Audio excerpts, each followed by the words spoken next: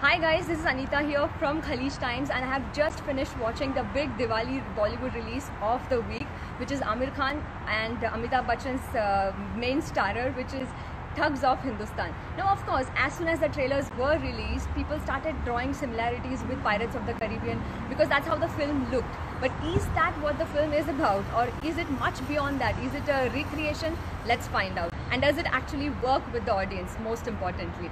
Now, uh, as we know, the film begins in the 1700s. We have a British officer named Clive who deceives, uh, uh, deceives an honest king, uh, played by Ronit Roy, and uh, he kills the whole family.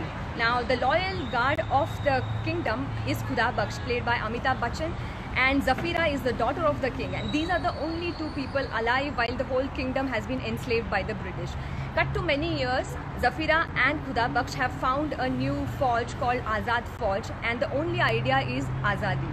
Now, there's a third character in the film, as we know from the trailer, a very colorful character called Firangi Malla, played by Aamir Khan and uh, he he's uh, a guy we cannot trust he's very dishonest very cunning shrewd and his only aim in life is to just uh, thagna uh, you know logon ko thagna as as he says and making money out of it. He can even sell his soul and even his countrymen for it.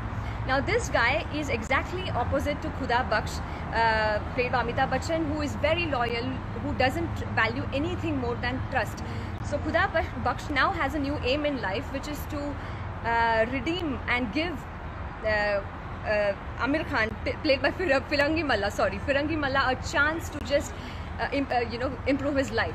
So what happens? Is he able to? Uh, is he able to make make this guy change his mind? Is is what the film is about. Now, if you talk about the other characters, we have Katrina Kaif. We saw two songs, a promos of two songs before the film released. And Katrina Kaif actually in the film is reduced to only two item numbers and four powerful dialogues which she which she utters in the film. But uh, there's so much more that she could have probably done in the film, you know. Uh, she relies totally on her looks and her attire uh, and, and, the dance move that, that she brings on the big screen. Uh, the fourth character, of course, is Zafira, played by Fatima Sheikh. I think she got enough. She has, uh, she, she's the, she's an archer she gets enough moves to show in the film. She gets enough chances, but somehow she is second fiddle to the other two leading men in the film, which is Amitabh Bachchan and Aamir Khan.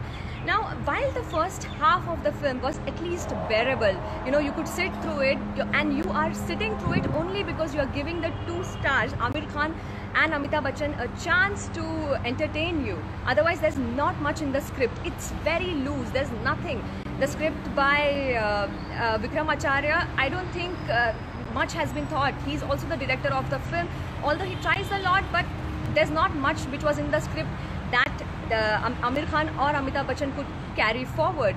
Uh, and also, what is major disappointing in the film is that it the, the film is uh, by a big production house. Uh, 300 crores were spent on making the film. It was mounted on such a big budget and it just fails. The film just comes crashing down, uh, especially in the second half, you know. Uh, and this is a major disappointment, especially because just last week we had Badhai Ho, a small budget film which won and went on to cross 100 crores only because of the strong uh, script that it had.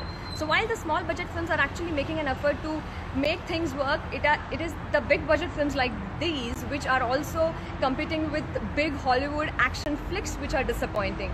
So frankly for us it didn't work out at all the second half we were just waiting for it to wrap up so that we can just leave the theater and many in the movie halls were also checking their cell phones throughout the film so the uh, dance numbers by Katrina Kaif also stopped working beyond a point. So I'm giving two stars for this film and only for the reason probably that at least the makers thought of bringing together Aamir Khan and Amitabh Bachchan together for this film but there's so much more that could have been done here. Uh, so two stars for this film, for this Diwali release. A major disappointment for all the Aamir Khan fans who have who have come to expect so much better from him.